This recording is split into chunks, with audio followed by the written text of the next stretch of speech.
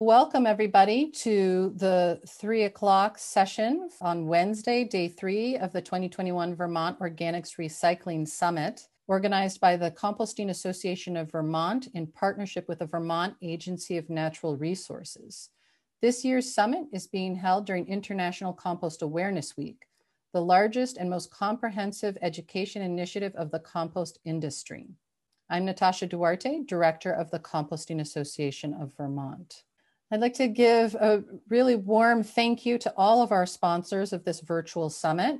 These include Community Bank, Eco Products, Vermont Natural Ag Products, Addison County Solid Waste Management District, AgriLab Technologies Inc., EcoPixel, Nature Cycle, the Vermont Produce Program for the Agency of Agriculture, Food and Markets, and the Eco AmeriCorps program from the Department of Environmental Conservation. I'd like to invite Ollie Kulchara to join us now. Vermont Produce Program is our uh, featured sponsor for this session. Ollie's the Produce Program Outreach and Education Coordinator. So, Ollie, if you'd like to go ahead and unmute yourself. So, my name is Ollie Coltrera. My pronouns are they, them, and I work with the Vermont Agency of Agriculture in the Produce Program. And we exist to help grow Vermont's produce industry by helping farms of all sizes and stages of development to meet food safety requirements, access markets, and promote public health as sustainable agriculture businesses. One of our main areas of focus is on farm produce safety. And produce safety is all about protecting fruits and vegetables from becoming contaminated with pathogens that can make people sick. So, as part of this work, our program implements the Food Safety Modernization Act Produce Safety Rule in Vermont. The Produce Safety Rule is a federal regulation intended to reduce the number of foodborne illness outbreaks with, associated with fruits and vegetables.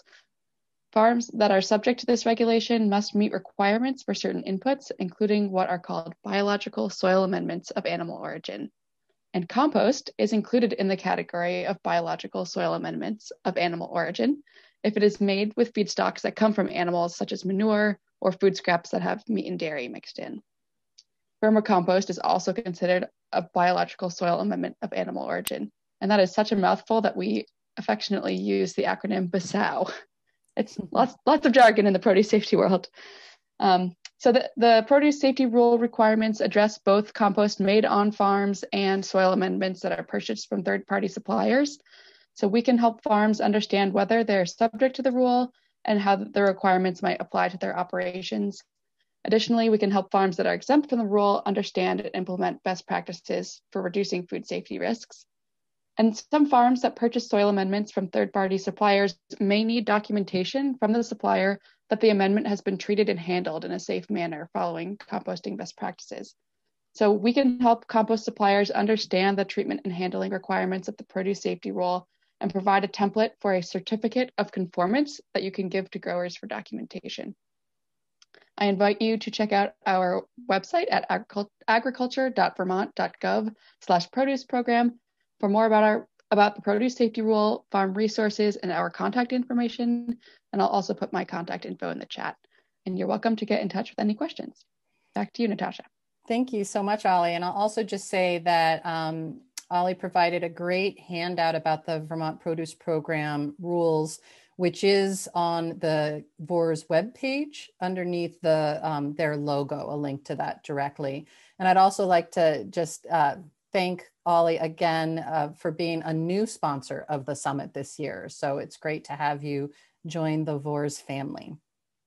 Um, so before we get into today's program, just two quick announcements. Um, one is that we are, uh, the Composting Association of Vermont is launching this week a multi-generational statewide art challenge called Changing Lives Through Compost One Scrap at a Time. And this was based on our 20, or sort of stemmed out of our 2021 a food scrap story calendar that features really neat photographs of um, taken from uh, countertop food scrap bowl um, that Paul and Winsong Kervik took pictures of and, and worked with me to put it into a calendar.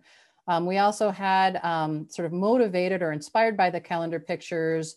A four-year-old uh, saw them and did her own food scrap art here in the in the plate, and um, and they shared those back with us. And then I also wanted to just show some different variation in art that could be done, perhaps with food scraps or yard waste. Um, these two posters were actually submissions from UVM's compost ecology and management class for the International Compost Awareness Week, uh, week last year, so 2020.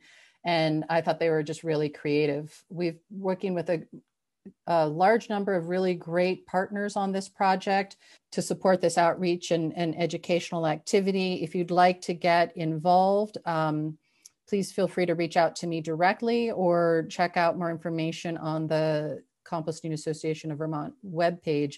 And I will be putting a link to this project directly in the chat afterwards. Now, on to today's program. Um, we are here at the three o'clock hour, and we're going to be hearing about improved compost fertility characteristics, thermophilic and vermicompost blends. Josef Görres is an associate professor of ecological soil management at the University of Vermont. His current research interests include earthworm invasions, composting, soil erosion, and mitigation of nutri- nutrient pollution with mycophytoremediation. Joseph earned his PhD at the University of Manchester Institute of Sciences and Technology and has an MS degree in natural resources science from the University of Rhode Island. So, Josef, thank you very much for joining us today. We'll look well, forward. Thanks for having me. Yeah. And thanks for the the uh, introduction. Boy, I do a lot, don't I? Um, it doesn't seem that much when you're in the middle of things. But anyway, I'm uh, I'm looking forward to speaking to all, to all of you and introducing a couple of things about uh, vermicomposting. And I cannot resist to also bring in the worms, uh, so vermicomposting, but also some a very, very brief sort of mention of invasive earthworms. That's because that's part what I do. So, you know, it, it always creeps in. So, uh, first of all, I'd, I'd like to thank my co presenter who is not here because he is in Turkey. So it's a long way away. It's about seven hours difference. Uh, so he, he couldn't make it today. Uh, but this is really, uh, Korkmaz Bellitürk is, uh, is, is a great friend, but he's also a great collaborator. And, and he, was, uh, he was doing most of the legwork on the, I shouldn't say legwork, but it wasn't so much running around and uh, uh, lots of measuring um, these blends or the, the, fertility characteristics of the thermophilic and vermicompost blends. So I'd like to mention him and then also, um, ah, where does, does it work? Come on, move. Oh, there you go. Uh, so um, uh, Turkey is um, a great place to go if you wanted to know more about vermicomposting uh, when I was there about five years ago, last time I went, and I really want to go back because it's a great country and a nice, me, I don't know, great country, and, and people are super nice there. Um, uh, Turkey is incredibly, or I should say, Turkish entrepreneurs are incredibly interested in vermicomposting. So when I was there, you know, my friend Korkmaz dragged me around to about six or seven places. Uh, in a county uh, that's probably the size of, of Rhode Island, maybe, yeah, Rhode Island, probably. There were six or seven places that were doing vermicomposting. And Korkmaz is saying, you know, uh, these guys do really well, but they're not really they're not really in, into uh, vermicomposting at all. They're into producing worms in the vermicomposting bins because the worms were selling at a at a premium of about uh, 50 cents a piece. And uh, because there was a lot of people trying to get into vermicomposting, uh, there was a really high price on, on the worms at that time. That's pretty amazing. So Korkmaz is actually uh, the character here on, um, on the right-hand side of that photograph. So why am I interested in composting? You should know you should know this as well. So as you as you know, I, I do uh, uh, ecological soil management as, as, part of what I teach and um, what I research. Um, and so the reason why I do this is because I have this this really, and I'm sure that you share you share this view, uh, this really um, scary thought once in a while I wake up in the middle of the night and say, where's all that food going? You know, it's going to the city and hardly any of that. So here's, you know, here's your, here's your harvest, there's the big city, there's that big arrow of food going there, and then there's this tiny weeny arrow going back towards the field. So there's not much coming back from the plate to the farm. And uh, so one of the reasons why I'm interested in this is because I want to see that that back arrow to grow. Okay, so water warning, composting is great, right? Uh, we have to look at, at nutrients a little bit. Uh, if you add too much, uh, too much of compost to your to your uh, to your garden or to your field, you might actually end up with an environmental problem. If you look at this is this is my garden, so you know, mea culpa, I'm, I'm just as bad as anybody else. Um, I add my own compost, mainly food waste uh, and wood chips. And uh, if you look at that, look at my phosphorus, it's totally excessive. Uh, 63 parts per million um, when they recommend four to seven, way, way over the top. And uh, do you think, do you think my compost is bad? Uh, my, my garden is bad. You go to a typical community garden where they, where they do their own composting and where they amend a lot more than I do. And that's you know 137.4 uh, parts per million of phosphorus in there, and it's also way excessive.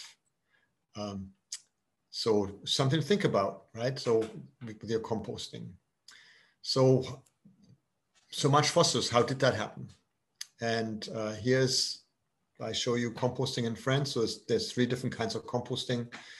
Uh, ways of composting that that that I have used. So it's vermicomposting, thermophilic composting. So you heat, you allow this is a typical um, windrow type composting, and then bokashi, which is a Japanese form of, of composting that uh, seems to be becoming more popular right now around around Vermont and New England.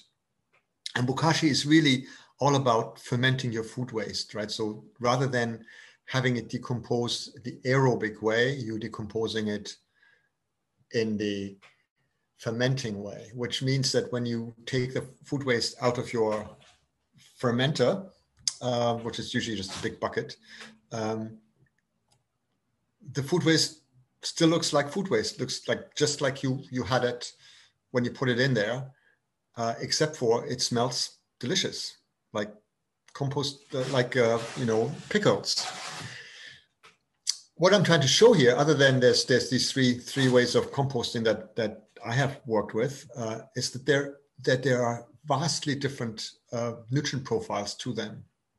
So if you look at the vermicompost, and I, I call vermicompost hot and fast, right? So it it it's super hot in terms of having nutrients in it, um, and uh, when you apply it, then the plants respond quickly to it, unless you do something wrong, and I'll tell you about that in a second. But I'd like you to look at just look at the nitrogen here. So vermicompost has this, this is total inorganic nitrogen, this is plant available nitrogen.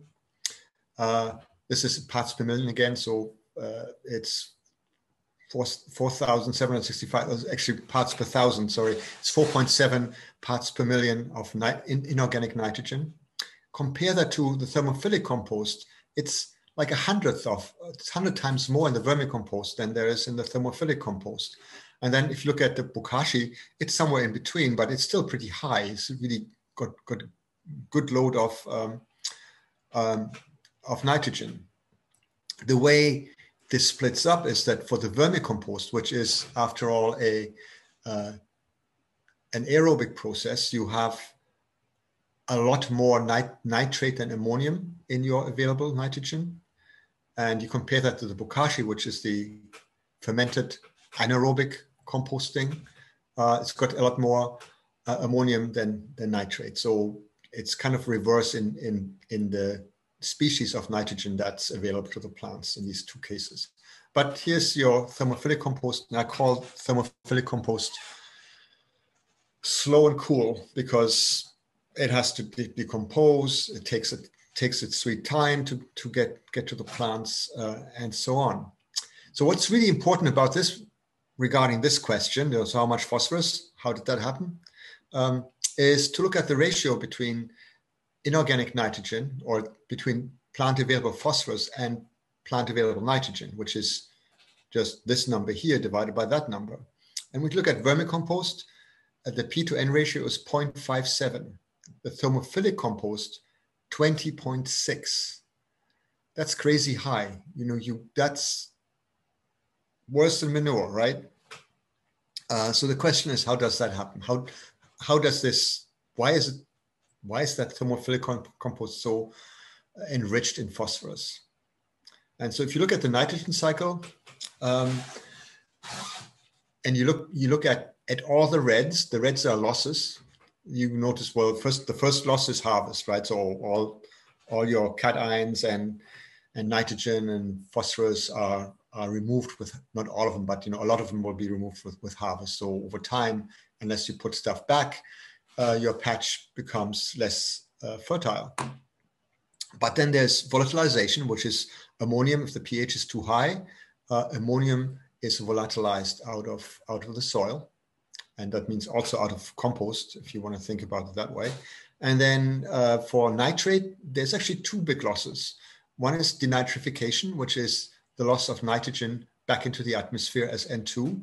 Uh, actually, uh, some of it might might go up as N2O, uh, so the, the, the nitrogen as a greenhouse gas, and some of it leaches, right? So when you have an anaerobic process, this um, this process going from ammonium to nitrate is actually encouraged uh, by by that and uh, by uh, the aerobic uh, by the aerobic nitrogen cycle um, and that means that you, you, you have a good chance that there's denitrification going on should the soil wet up again, and there's a good chance of leaching. And so this is these are the losses that you can see um, happen in thermophilic compost. Right, so uh, it's exposed to nature. It wets up. It dries. It dries down. Uh, there's rain comes along. It wets it up. You're going to get denitrification. So you get you get all these losses in nitrogen the, the thing is that phosphorus doesn't get lost so easily, right? So it's it's usually stuck on surfaces of uh, of, of soil particles or, or organic matter in, in compost, so it doesn't move easily. And the other thing that doesn't happen to it, it does it doesn't have a significant amount of um, of gases, so there's no gas loss, right? So this basically whatever phosphorus you have stays there. Um, whereas the nitrogen goes down. And so that basically means that the ratio between phosphorus and nitrogen goes up. And so with thermophilic compost, it's it's uh, for the thermophilic compost that I had, it was through the roof. There's some some stuff you might be able to do with this, uh, do about that, uh, but we don't have really much time to talk about that right now. You can probably add it onto the questions later. Okay, just, just in case you, you forgot what thermophilic composting is about, you're probably very familiar with that. You ha either have windrows or you have uh, aerated static piles.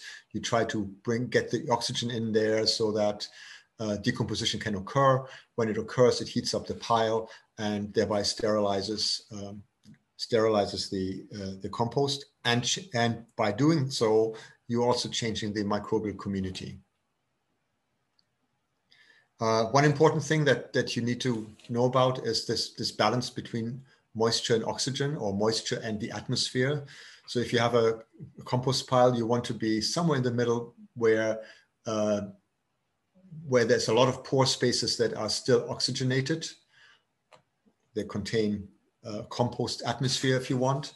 And um, and you want to have a lot of spaces that have moisture in them as well. So you want to be somewhere in the middle because the moisture goes the moisture goes with um, with the diffusion of nutrients within the pile and of other substrates like dissolved organic materials.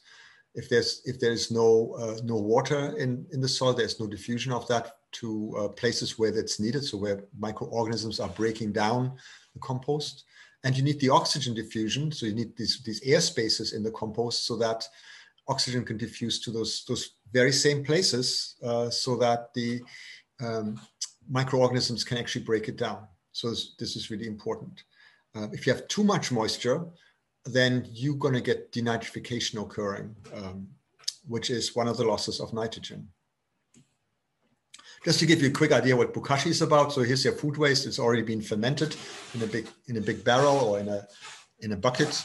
Uh, and then one thing that you have to do with bokashi, you actually have to dig a ditch and uh, deep enough so that um, any kind of vermin or a dog running around the neighborhood can't dig this nice smelling food up, right? So that's that's one of the the problems with bokashi. You actually have to um, help help yourself to its benefits by putting it in a ditch, right? So otherwise, you, you're going to have all sorts of problems with uh, with animals trying to to to eat this.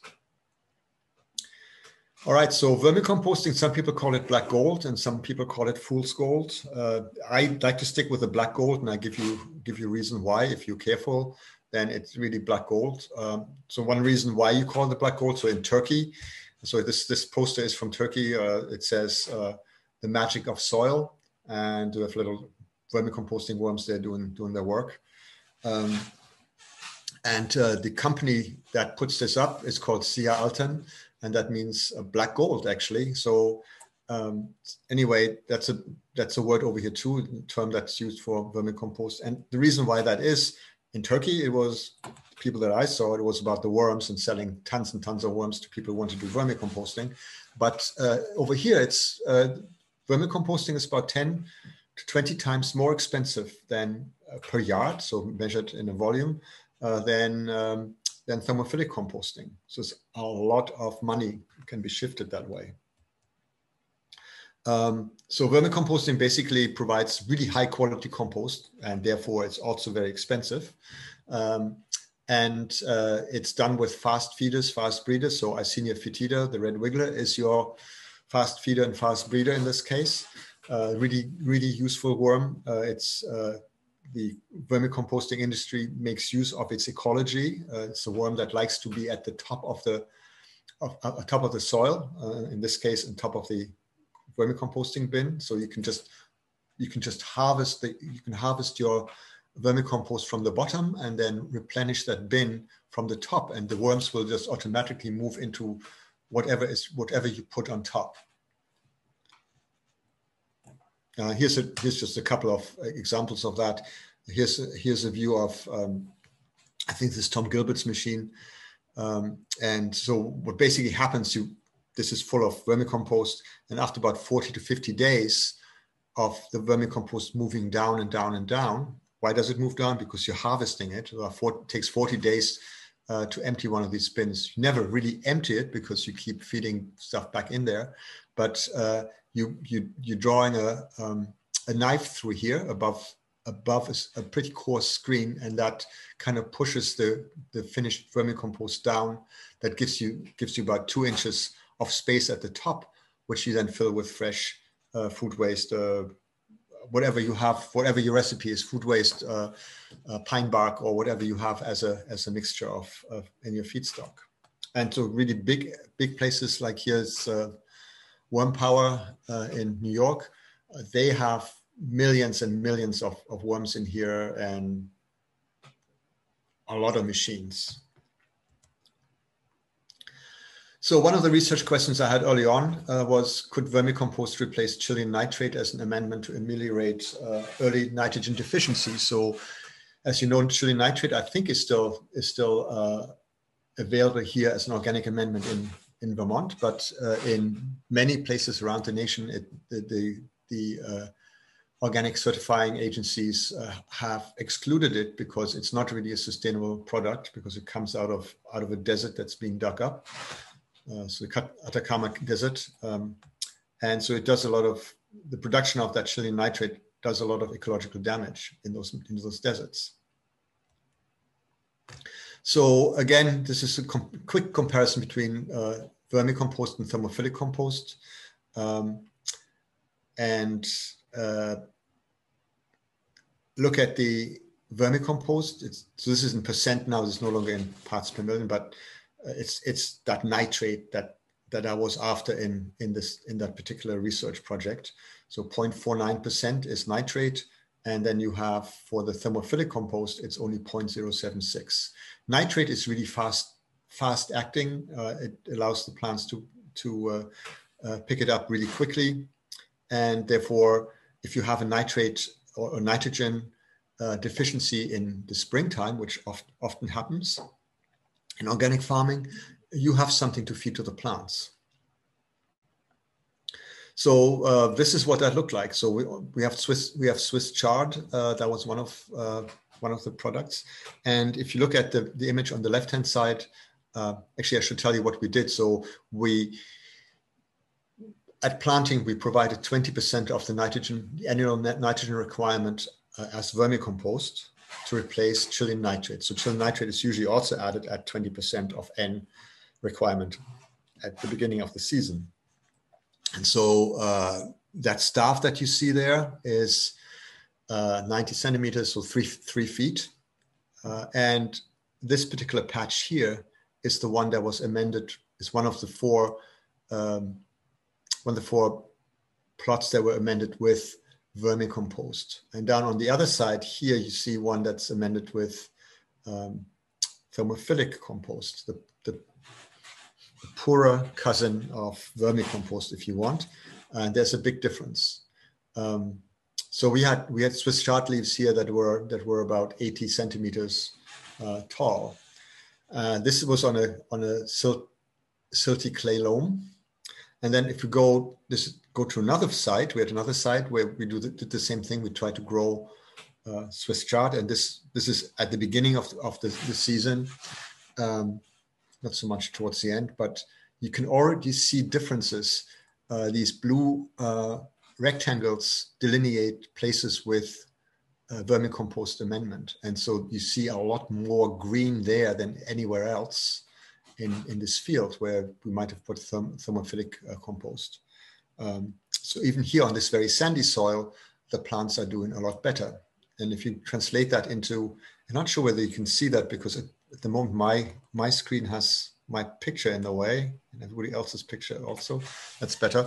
Um, so this this is um, a graph of the yield that we got from uh, the swiss chard at uh, bella farm. That was the first there was a picture on the right hand side with the really big leaves and we had a control that there was basically uh, a Chilean nitrate then we had a control with thermophilic the, we had a thermophilic treatment and a vermicompost treatment.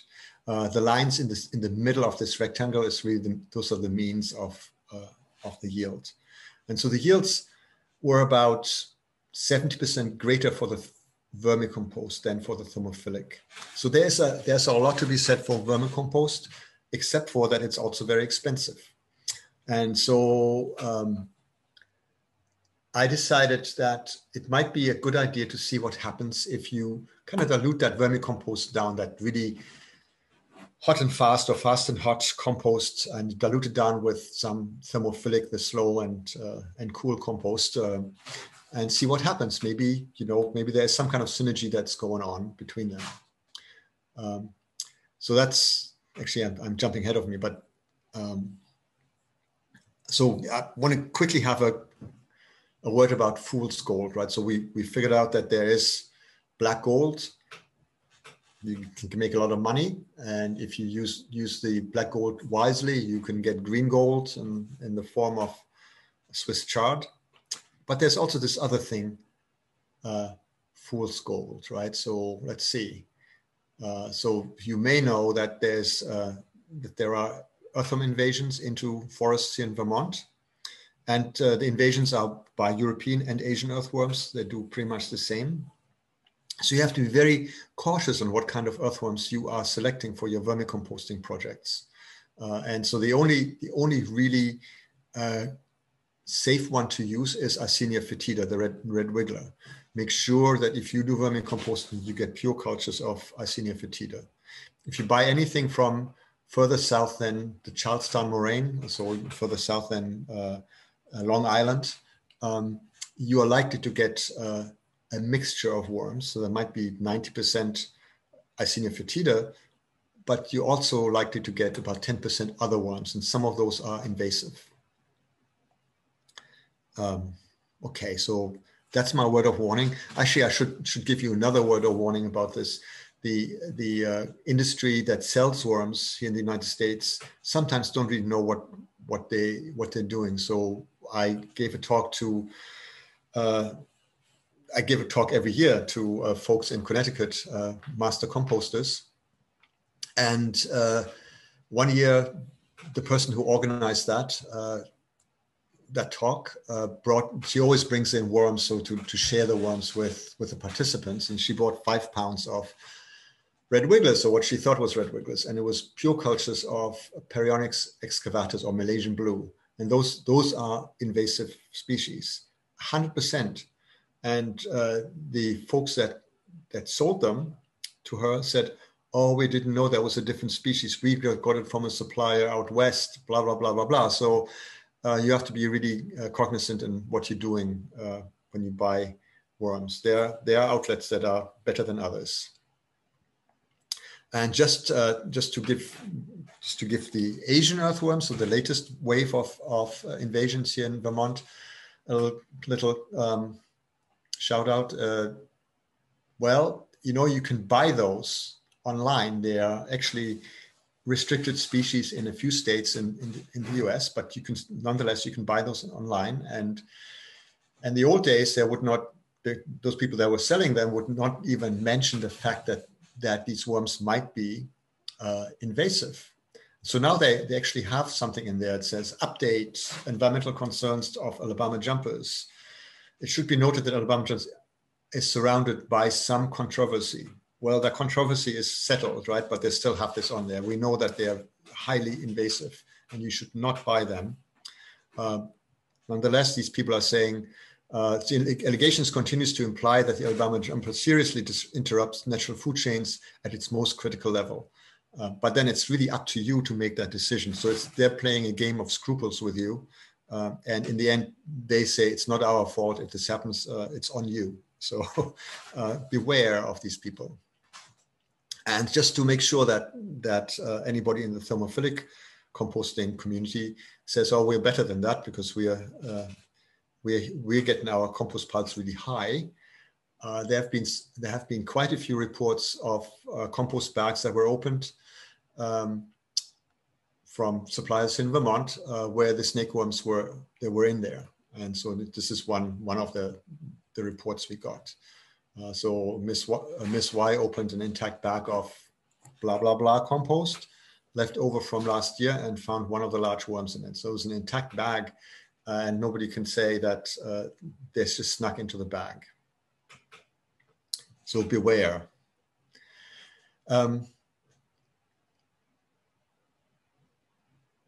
so another word of warning: if you just use vermicompost, uh, pure vermicompost. Um, as your sole nutrient input, yeah, it's great stuff. It's really high nutrients, but it's way too high nutrients to use 100%. So the, the recommended amount of nitrogen is about 10 to, uh, to 20% of the requirement for the crop. Uh, an eighth, an eighth to a quarter of an inch um, is, is the other sort of guideline. So vermicompost is very expensive, but it has these amazing properties. So first of all, it's got high nutrient content but it also uh, helps with um, with making soils more resistant or you're more resistant to plant to plant diseases. So, so if you add vermicompost, apparently you can lower the amount of uh, of of uh, disease, bacterial and fungal disease on on plants. And if you want to know more about that, I think Dr. Neher, Deborah Neher at UVM is a great place to start. Um, I don't have to show this, but uh, basically this kind of tells you more about, or it kind of enforces what I just said about um, about uh, bacterial suppression, fungal dis uh, disease uh, uh, suppression of um, by, by, vermicompost. So here's the blend experiment that you all came came came here for, and um, so the big research question was, can the hot and fast vermicompost speed up the decomposition and nutrient release of slow and cool thermophilic compost? And uh, let's have a look. So again, here's here's the data, right? So uh, what if we we blended the two composts at different ratios. Is there a ratio that's better than another? Um, what would be the outcome of this blending, right? So this is basically what we're after. Uh, and again, I'm kind of eyeing the nitrate and the phosphorus here.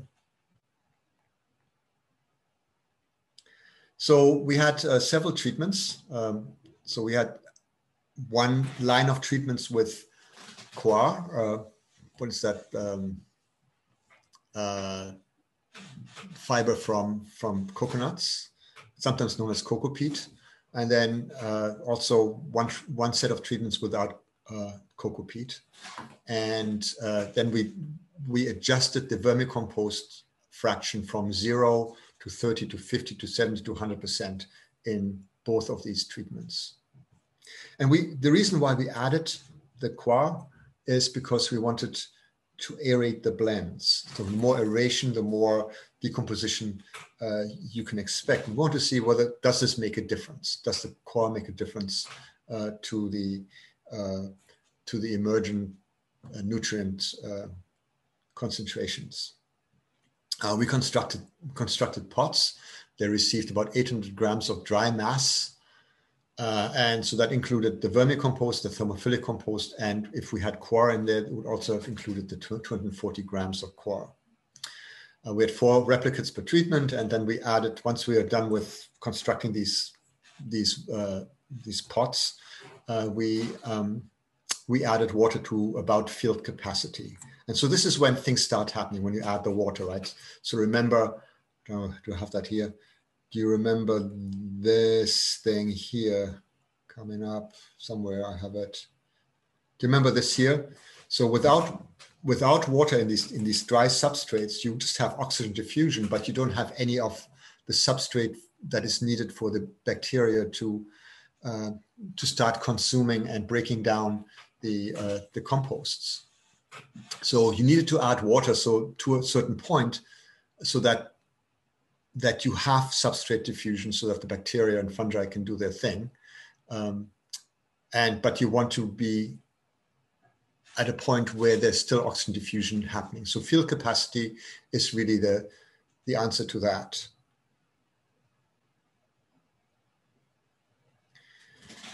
And then we measured electric conductivity, uh, which was an overall measurement of nutrients. Uh, we also measured inorganic nitrogen, water extractable phosphorus and water extractable K. So these water extractable frac fractions are really uh, what is available to, to the plants right away. And we also measured some enzymes to see whether we can explain something, uh, whether enzymes make a difference.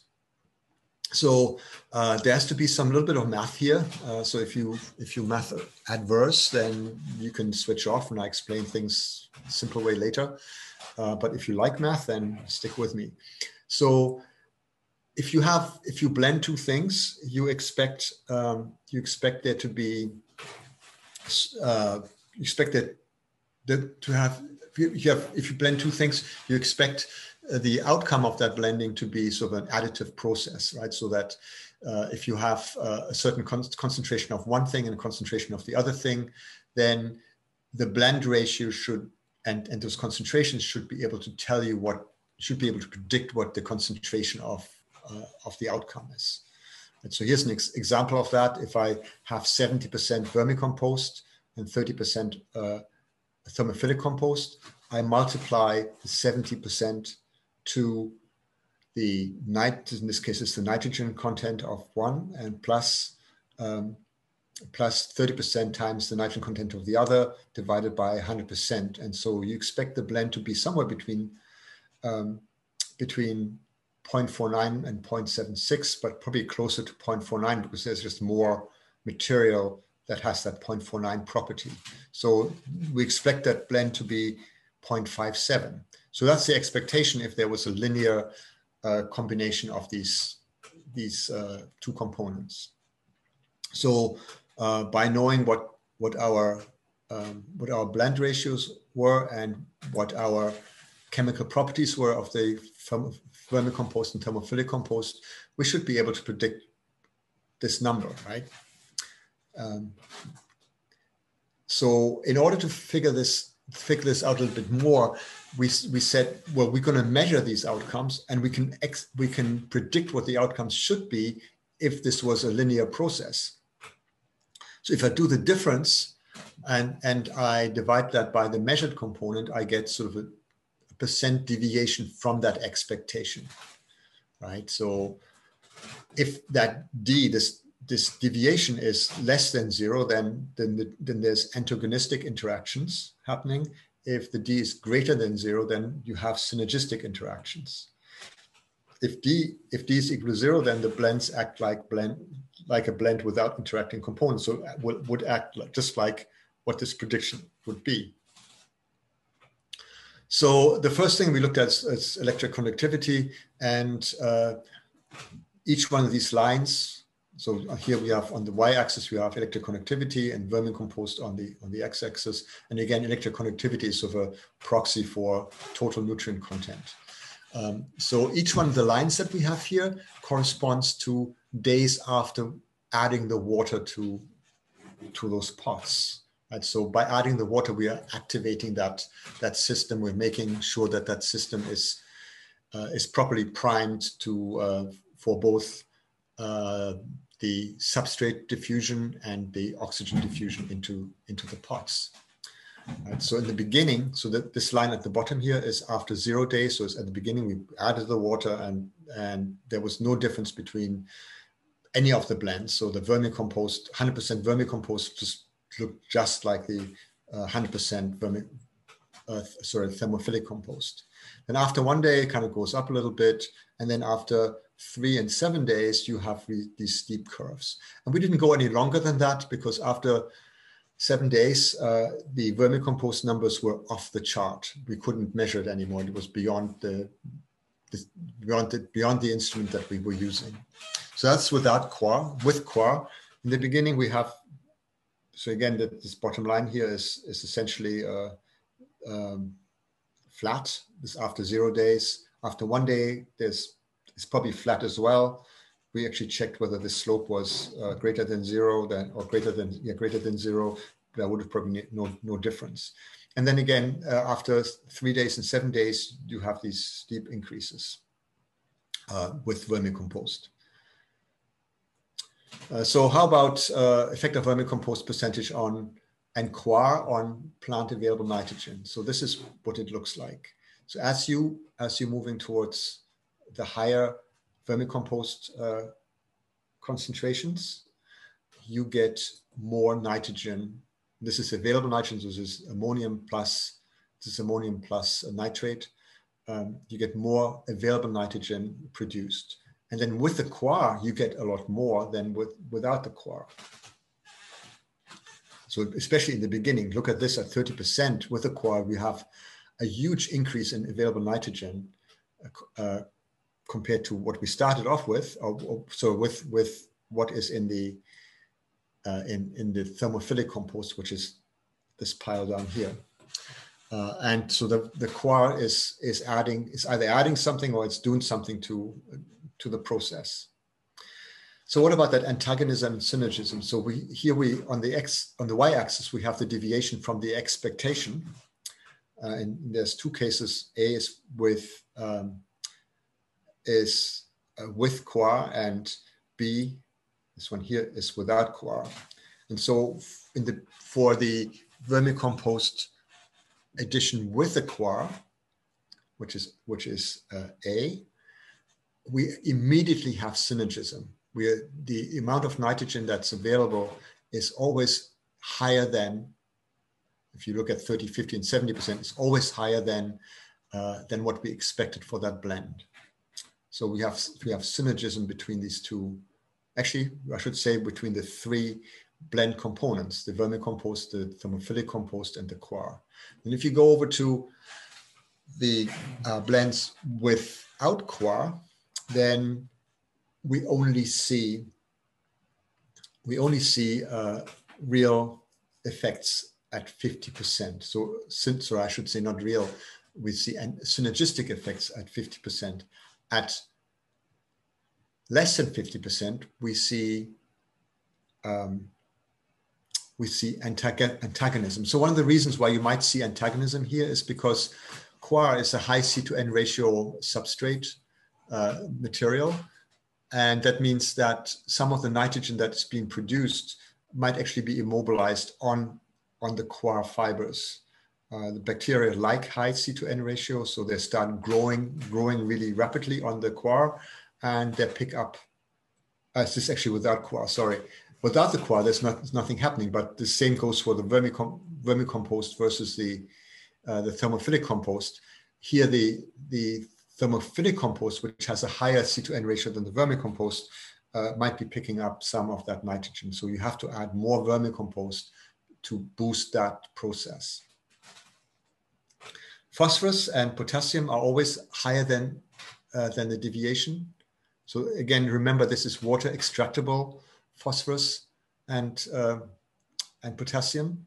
So it's not the total phosphorus and potassium, but water available, so water extractable, immediately available phosphorus is greater uh, in uh, is greater for both the coir and the and the without coir treatments. Same for potassium, but with coir, for the 30 and, and 50 uh, percent, the phosphorus, that's vermicompost addition, the phosphorus is, is greater for the coir, but then it's the other way around when you go to, to 70%. And that's pretty much the same in the potassium. So what might what might explain this? So one of one of the guesses is the enzymes, right? So enzymes uh, is basically are basically products of micro uh, of, of mi microorganisms, and um, I'm showing you uh, that's how they that's how they do their business of, of breaking things down, the enzymes. Uh, and so I'm showing you um, two cases or two two enzymes. One is one is called peroxidase. That is associated with lignin decomposition. So lignin, very difficult to decompose generally. And then beta uh, glucosidase, which is uh, associated with cellulose uh, breakdown. So if we're looking at enzyme activity, so how fast is the stuff produced, um, how fast does it, how fast does the peroxidase and the beta glucosidase break down certain model compounds? Um, then we find that as we, for the peroxidase, uh, regardless of whether you, have no coir, which is the orange, or whether you have with coir, which is the blue, um, the peroxidase is more active as you add more uh, vermicompost. So in, in vermicompost, you have about twice the amount of peroxidase as, as you have in the um, as you have in the uh, the thermophilic compost.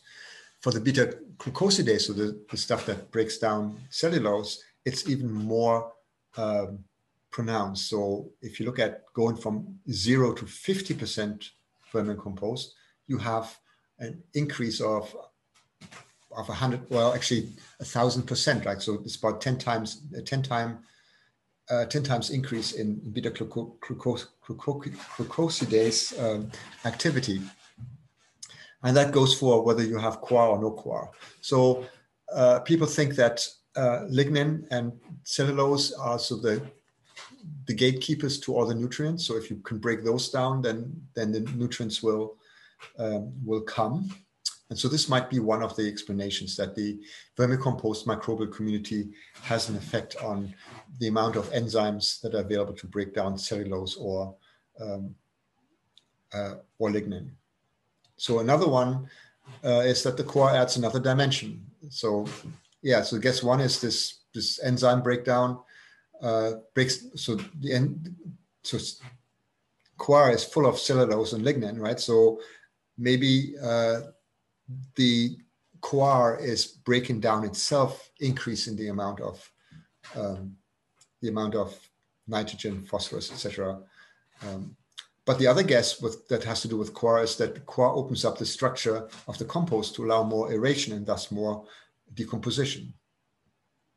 Again, this is this is that that graph where you have to think about uh, what is the what is the best soil moisture content uh, for your um, for your compost pile, right? So that you have both substrate diffusion, so dissolved ox- dissolved uh, organic uh, compounds moving through the compost pile, and you have the oxygen able to enter the compost pile to fuel uh, the decomposition of, of the substrate.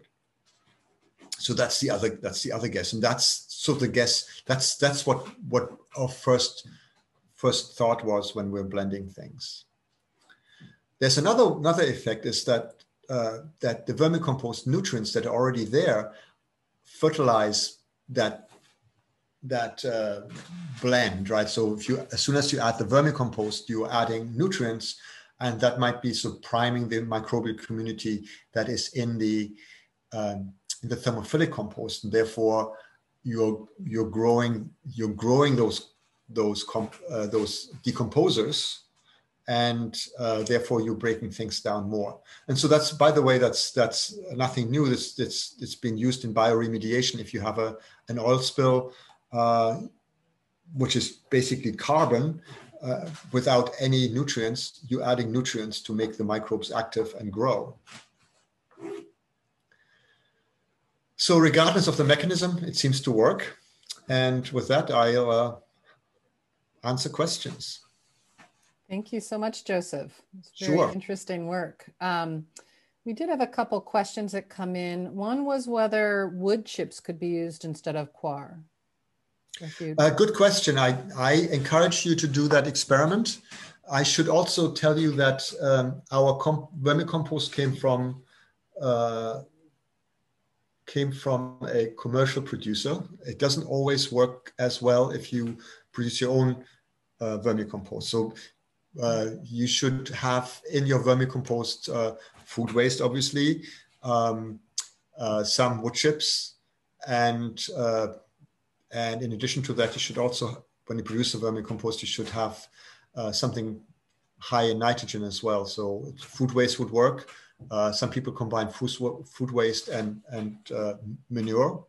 Mm-hmm. So uh, that's not liquid manure, but 20% uh, uh, dry manure, so pretty dry manure. but yeah, I would use wood chips as well. That's that was a good idea. That that's an excellent idea. We'll, we'll do the same thing. It so it will play to all those scenarios that I said in the end. So it opens up it opens up the structure. It allows more aeration, just like in a regular in a regular um, pile, uh, mm-hmm. pile. But it also uh, adds nutrients, right? So they're not easy to, to get to, but I bet you that if you add vermicompost to it, that you get an increase of nutrients just from that. Great, thank you. Excellent question. Um, and Ollie actually had a similar question that was running around in my mind at the beginning. Um, so it's a it's a two part question. The first is Were the thermophilic and vermicompost used in the trials made with the same feedstocks? Because I think you had a line on that slide yeah, indicating that they were different. They were different, absolutely. Yeah. Okay. Yeah. Um, so that's that's a and that's a really good a good question. What mm-hmm. what would happen if you if there weren't the, if you used the same? So there's there's information in, in the literature about that. Uh, Deb Neher has a paper on on that as well. The same same uh, feedstock uh, and then vermicompost and thermophilic, and there's still a big difference in terms of the nitrogen okay. available. Yeah, because I know if the if if you're we're comparing it to a thermophilic compost that wasn't made with, you know, like that was just leaf and yard waste debris, for example, you would anticipate that that nutrient profile be quite different than a manure based or a, fee, food scrap right. based. You still have you still have to aim at at a C, C to N ratio of about yep. thirty to one. Yep. Uh, one um, thing mm-hmm. one thing about that, uh, if, I, if I may just jump in there. Sure. Uh, quickly. So I, I, mentioned earlier that you might be able to retain some of the nutrients in a thermophilic pile. And I said, mm-hmm. uh, no, it's a, it's a, long answer, a long explanation of that, but maybe it's it's it's not that, that difficult. If you raise your C to N ratio, your starting C to N ratio from 30 to 1 to something like 35 to 1, then more of the nitrogen is being retained because you have more you have a higher C to N ratio, so you get more of the bacteria and fungi that are in your pile uh, to uh, immobilize that nitrogen. Mm-hmm. True. Um, Okay, and then the, the other question there was, are there direct comparisons available of the P to N ratio and individual P and N concentration content for vermicompost, thermophilic compost, and bokashi compost, again, made with the same feedstocks. So maybe that was the the reference to to Deb Neher's paper that you made. Uh, yeah, there's not there's not much information on that at all because uh, because vermicompost commercial vermicompost is produced with cow manure and silage corn or silage, mm-hmm. uh, rotten silage that the cow couldn't feed to the cows. Um, and uh, bokashi is usually produced uh, by uh, with with food waste, food waste, and and usually you add uh, some kind of um, bran to it as well that you have prepared to with right. microorganisms. So it's just totally different uh, different beasts. Yeah, and I wonder if part of that may explain as well the difference that you were mentioning between a commercially produced vermicompost versus a you know sort of homemade quote unquote or backyard. Mm-hmm. Because like I know you mentioned Tom Gilbert, and he is definitely utilizing you know some of the the uh, food scrap um, yeah. Uh, food scraps for his vermicompost. So I would anticipate that there'd be a different nutrient profile resulting from his vermicompost. Absolutely, there, and, and there's really not not enough work on on nutrient profiles. So one of the things that that I was thinking when I was five years younger than I'm now, mm-hmm. wiser, five years wiser now, uh, is was that you know we have we have we have these different processes. We have these different foods, uh, food, um, sorry, feedstocks for uh, for producing composts.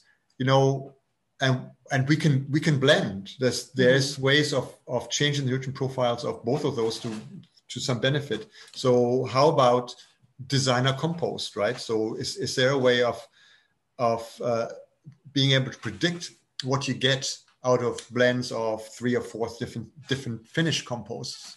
Um, and if I mean that that is something that maybe when I retire I will try and, and do that kind of thing, but uh, in the, the regular yeah. uh, operations, it's almost impossible to to spend that much time on something like that. Sure. And uh, Ollie just added related to adjusting the recipe to hold on to nitrogen. Um, she knows of a composter who had sulfur to lower the pH to prevent the gaseous N loss. So yeah, kind of so gets to those boutique recipes. Yeah, yeah, absolutely. So uh, designer boutique stuff I think that's where it's at. You know, it's mm-hmm. it's whether you change the pH or whether you you add more uh, brown materials to increase the C to N ratio. Um, uh, it will help you retain some of those, mm-hmm. retain the nitrogen. Uh, I mean, it's just it's just a, a fact of life that nitrogen has that gaseous component, and you will lose some of that nitrogen uh, to the atmosphere when you're composting. It's just you just can't avoid that. Sure. Um, and we're right at the top of the hour, but I am gonna. I think this question is just really quick um, because I think you had mentioned it. How how long was the vermicompost combined with the thermophilic compost to get those results? Uh, it was forty days, okay. but uh, we did this. We we measured. Uh, so if I go back to this is fast. I go back here, mm-hmm. right? So.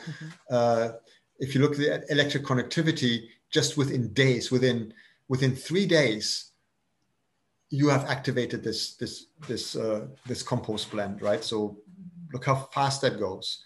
This is this is zero days. This is three days. You just it just goes so fast. It's just totally amazing. Great. All right. Well, we are out of time, but thank you so much, Josef. And I, we're sorry that your colleague in Turkey wasn't able to join us, but we totally understand with the the significant time change. Um, and thank you to all of the participants for taking some time out of your afternoon to, to learn a little bit about Josef's work. I yeah, would, thanks for spending the time with me. It was fun. Yeah. And um, just a reminder that we are starting again tomorrow morning at 10 a.m. with the Soil Builders Compost-Based Best Management Practices for Erosion Prevention and Sediment Control. Um, so we will, and that kicks off um, the you have four different uh, sessions for tomorrow. We hope you'll all be able to join us for, for part of that. And just a quick reminder that you will be getting a, an email with a link to an online evaluation at the end of the week. So if you could take just a couple minutes to fill that out, we would appreciate your feedback. And again, Josef, thank you so much. My pleasure. All right. Have a great afternoon, everybody. You too. Bye bye. Bye bye.